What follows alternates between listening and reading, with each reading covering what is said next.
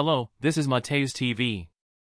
Desmond Chiam is gaining recognition for his roles in Joy Ride, Marvel's The Falcon and the Winter Soldier, and the upcoming Mortal Kombat sequel.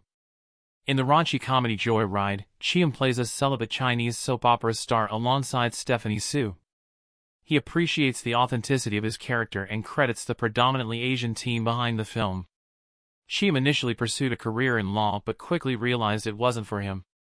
An eye-opening conversation with a colleague led him to quit his law job and venture into acting.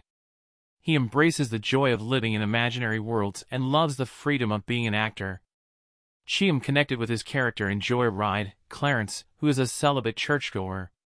He drew from personal experiences of growing up in Asian communities with megachurches filled with good-looking and horny young people. Working with Stephanie Hsu and the rest of the cast was a delightful experience for Chiam. The set had a playful atmosphere, and the actors enjoyed trying to break each other during takes. As for his ultimate goal as an actor, Chiam doesn't have a specific target. He's open to different roles, genres, and projects.